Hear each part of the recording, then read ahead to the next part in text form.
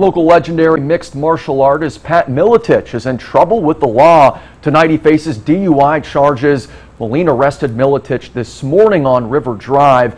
Miletich recently made news after announcing he'd face off against former boxer Michael Nunn in a kickboxing match that's set for next month.